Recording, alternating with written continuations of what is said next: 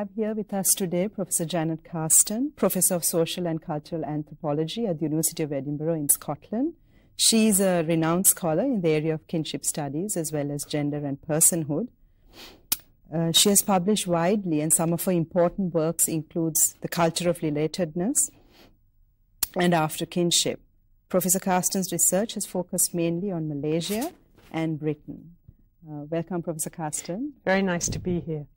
Um, so, my first question is uh, kind of a broad question about kinship, um, the past and the present, the future. Um, kinship has been central to the discipline of both British and American uh, anthropology since its inception. Why do you think kinship continues to be an important area for students in the social sciences? Yeah, it's uh, an interesting question. I think um, actually kinship had a bit of a lapse in the 1970s, uh, and certainly when I was a student, when it was not uh, the most fashionable or interesting thing to do. Uh, in contrast, perhaps, to gender studies, which seemed very lively and interesting.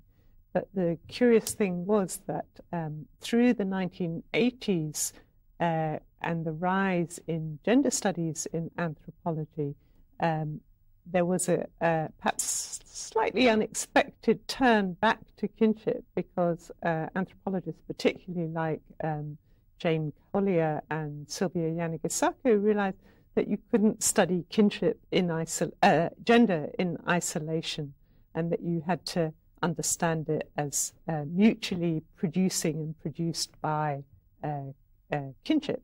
So that kind of produced a kind of turn back to kinship, but also partly um, the answer to that question, I think, is ethnographic in that when anthropologists do field work, and particularly when they look at um, trajectories, life trajectories of women, but also men, of course, um, you know, kinship comes into the equation, and whether fashionable or not, when you start to do field work, uh, very often anthropologists realize um, perhaps wasn't what they expected, but kinship relations are really fundamental to the topics that anthropologists are interested in, which includes religion and politics, actually. So,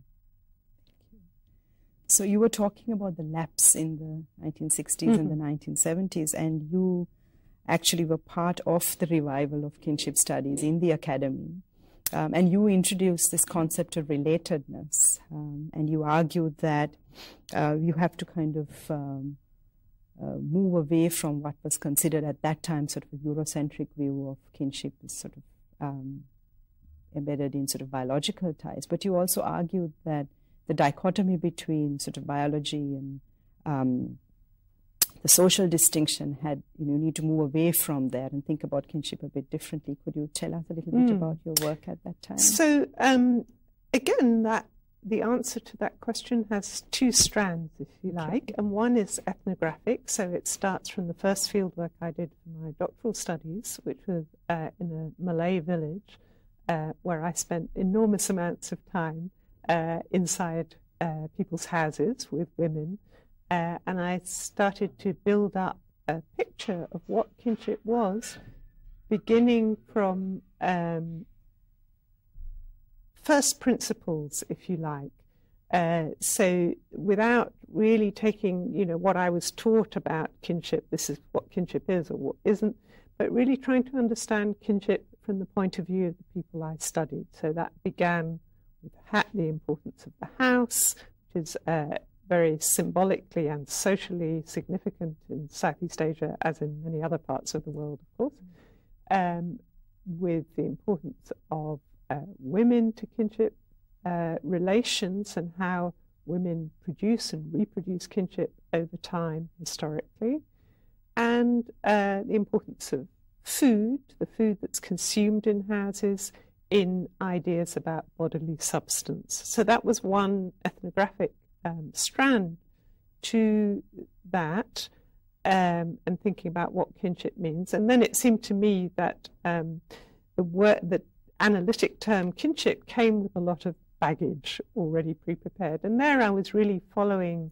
in the lines of um, David Schneider's work, particularly, uh, where he had argued that uh, there was a kind of ethnocentric presumption uh, in kinship studies that uh, the distinction between the biological and the social could be taken as given, and that everywhere uh, biology was kind of fundamental to kinship.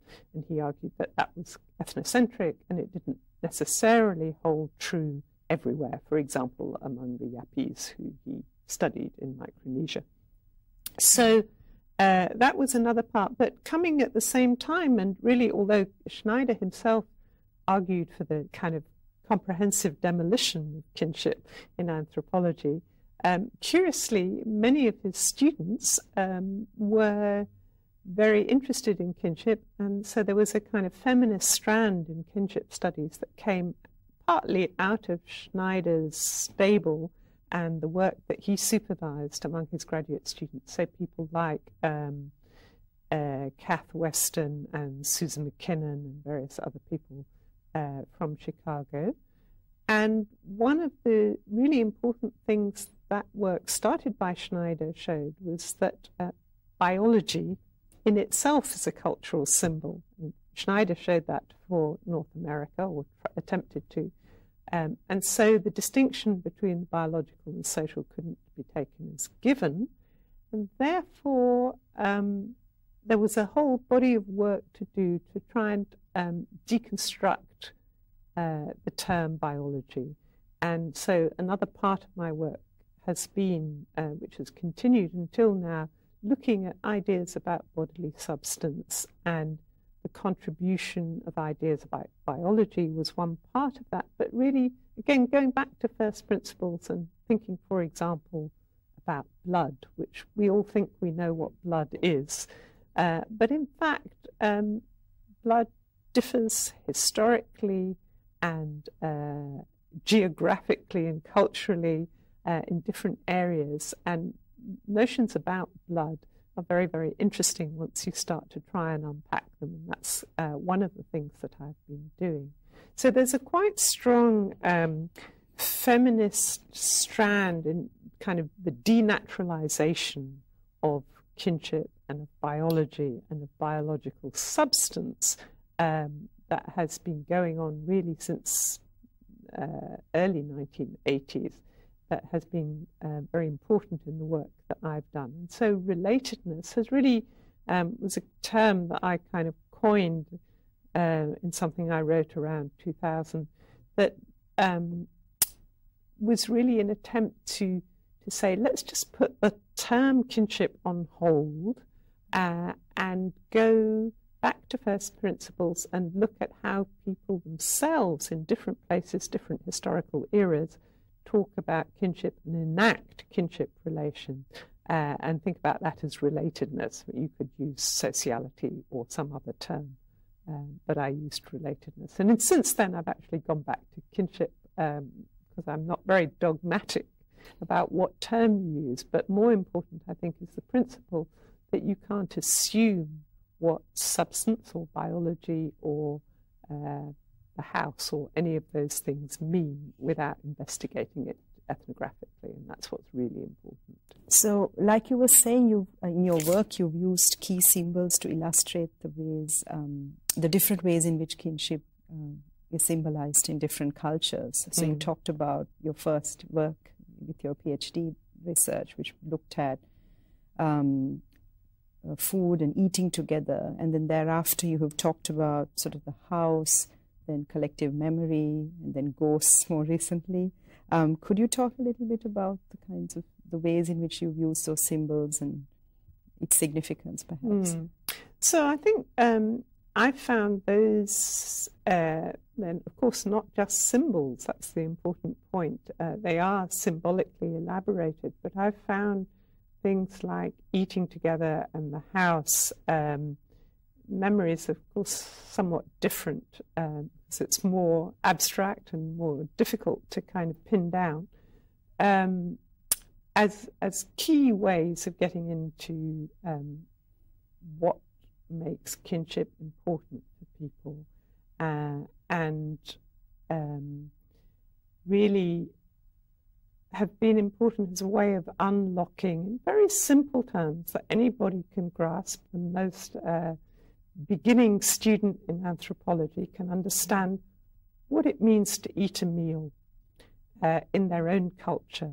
And you can start to unpack the difference between, for example, a full meal that you eat at home with your family and a snack that you might have on a train or on a bus or at the cinema. Uh, and why the different kinds of food are different from each other and what that signifies. So, the significant difference between boiled food uh, and fried food, uh, between the things that you drink, alcohol and fruit juice, for example, and why different kinds of food tend to be elaborated in different ways, and the messages they carry about co-substantiality, about the possible risk of pollution or of being poisoned. Um, so you can get into all kinds of interesting areas, witchcraft, um, because mm. often food is a means for introducing witchcraft to people.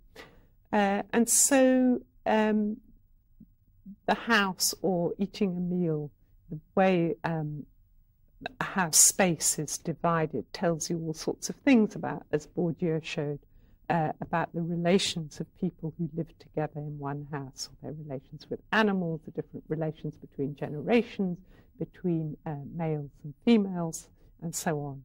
Uh, and so they've been kind of keys to unlocking what's really important about social relations, things that are constant across cultures, but uh, also things that vary between cultures. Um, and that's been very important. And then um, moving on to slightly more abstract terms like substance and memory, um, that really has come out of the earlier work. So from from uh, food comes substance, from uh, other media become well. I mean, actually, if you think back to anyone's own childhood, uh, one of the most important, powerful memories probably is about the family meal and how you ate your family meals. Uh, and you have those memories, I have them. Uh, and they're very significant to people. So you can go from, and equally the house space, you know, the, the memories of childhood that are really powerful often incorporate the house that you lived in as a small child. And you may not remember it precisely, but you remember some quite significant things about it and where you were in that space in relation to other people. So um, memory and substance probably come out of those um, key areas. Thank you. So, just picking up on what you were talking about in terms of food and sharing meals as a family, and because your work um, has been sort of in Malaysia, I remember watching a documentary once about something called mamak culture in mm-hmm. Malaysia, where it, uh, so this kind of tendency for families to go and hang out in malls and eat. Um, and that was sort of integral to Malaysia, being Malay. Right. Um, so I was wondering whether you had sort of thought about kind of moving away from sort of home cooked food and sharing meals in the home to a very sort of globalized environment of the mall, very public. Um, whether that has any kind of impact in the way people um, think about kinship and family. Hmm, that's an interesting question. Um, I haven't myself done research on that, but um, when we teach about kinship, certainly that's something that I would want to bring in. I mean, I think one of the things that you would want to look at is, is exactly as you suggested who eats together uh, in the mall or anywhere else. So um, they're interesting questions to ask. You know, are we getting groups of friends hanging out together? Or work colleagues taking lunch together in a in a mall, um, or uh, is it more family groups going um, as as families or together as more extended families, bringing in more people? So so the questions I think to some extent remain the same. Um, you know, we're interested in who eats with whom, what they eat, and how they eat and what are the differences? Because um, part of what's interesting about food consumption, of course, is the different modes that you you can um, consume food and the different uh, social relations that it carries along with it, that it strengthens or reduces. Um, so that's something that you would want to look at. So, in other words, are people eating less family meals at home or not really? Is this just an added on uh, version Um, so that's the kind of question that I'd be interested in. So you kind of um, touched on sort of new forms of sociality that are emerging. Mm. Um, and I was interested in asking you kind of how social media um, has played into sort of emphasizing different ways of relating to people, kind of the intensity with which, for instance, people um, communicate with each other, say on Facebook or Instagram.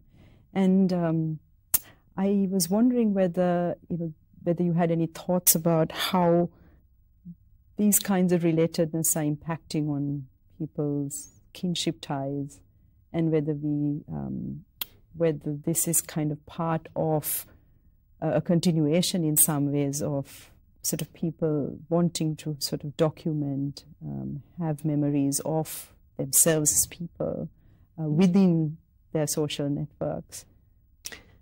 Interesting question. Uh, my my sense of a lot of which may be wrong, uh, a lot of the uh, new social media is that intrinsic to them is the idea that they should be and they are ephemeral, so that this is not stuff that's meant to last. Um, so it's a huge increase in the quantity of communication and, of course, in the modes of communication. But um, I think the question that's really open is the the long term effects, the the lastingness of um, some of that stuff. So, will there be a record of Facebook, uh, you know, communications in 20 years' time of the ones that happened 20 years before? And my sense is probably not, because that's the point of them, that they should be ephemeral. Um, in which case, again, like the food question, they're interesting questions to ask about uh, the coexistence of different modes of communication. So another another similar question, but I think perhaps uh, even more interesting. I mean, family photographs, which for a very long time have provided a kind of archive, a very personal archive for people, but also a more uh, an, archive in the academic sense mm. of changing family relations around the world. Uh, and photographs, I mean, interestingly, people often say about their family photographs that that would be the one thing they, the first thing they want to rescue from their burning house. Mm. Uh, uh, and they're very, very precious to people. So perhaps in contrast to Facebook communications, which are possibly less so. Um, but these are open questions. So, so then, you know, what happens with the um, again, the huge increase in the amount of photography people are doing and the mm. digitization, you know, so will there still be the same kinds of records? And there, I think my hunch is that there will be, that the preservation of family photographs will continue to be important, although selectivity might uh, start to be an issue at some point. But um, so, so I'm not convinced that uh, relations profoundly change because of these media. And I think it's more important to look at what people are doing with the media and their longevity. Uh, of course, it, just because they're ephemeral doesn't mean they're unimportant. I mean, they may matter, but briefly. Yes. Uh, and, and to whom do they matter? Uh, you know, that's another question. And in what kinds of relationships do they flourish? Um, and one thing is, of course, over, over geographic distances. So that's an interesting thing where it's much more possible to communicate all sorts of stuff over very long geographic distances. And in fact, distance doesn't matter that much mm in those contexts. So okay. that uh, may have some long term significance. I mean, one thing that has struck me about Facebook and the whole sort of business of friending people mm. so that they're linked to you is that there's sort of a blurring of the boundaries between the kind, different kinds of relationships yeah. you have. So, you know, so you have people saying, my grandmother is now my friend on Facebook. Yeah. Um, and then you think about the kinds of things then you share. Yeah. Um, that's sort of all, all parts of your life or, or what you choose to share. It then becomes everybody's, um, it's for everybody to consume in some ways. So the kind of hierarchical relationships, for example, that you may have maintained with your parents, with grandparents, aunts and uncles, which are then opposed to friends, for example, uh, kind of get blurred in that in that space. Yeah, no, that's very interesting. And I think particularly um, with parents and children, where the, the surveillance regime of parents or um, supervision uh, gets very kind of blurred. And there's an idea that, you know, parents should not be really looking at their teenage children's Facebook communication because they might, you know, there's a there is a boundary question, as you say, uh, there, uh, and it's like having conversations that are unsuitable uh, in certain relationships. So um, it will be interesting to see, I think, how that develops and whether the boundary keeping mechanisms actually become more significant rather than less significant. That there's something about Facebook that promotes a kind of democratization mm. of relations, but that slowly but surely boundary keeping mechanisms will creep in, which is kind of what you might expect, in fact. Um, thank you, Professor Carsten, for that really interesting discussion on sort of the the history of kinship and what it's sort of how it has evolved over time and its present configurations. And um, thank you for being with us today.